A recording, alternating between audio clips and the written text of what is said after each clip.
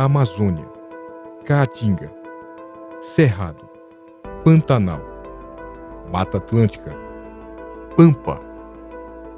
Biomas muito diferentes, mas com algo que os aproxima: a presença do Exército Brasileiro em todos eles.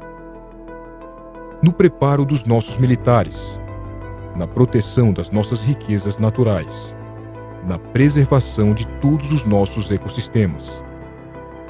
Para defender a pátria, a força faz do meio ambiente seu maior aliado. É por isso que protegê-lo é uma de suas missões.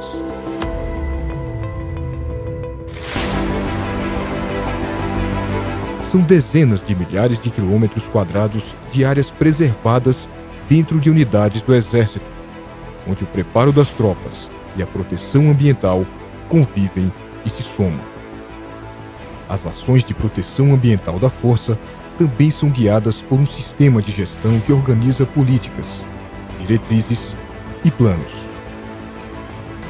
É dessa estrutura que surgem iniciativas que propagam a sustentabilidade, que capacitam militares em gestão ambiental por todo o país e que disseminam boas práticas ambientais por todo o Exército. Acesse nosso portal e nossas plataformas digitais e conheça mais sobre as ações do Exército a favor do meio ambiente. Exército Brasileiro. Braço forte, mão amiga na defesa do meio ambiente.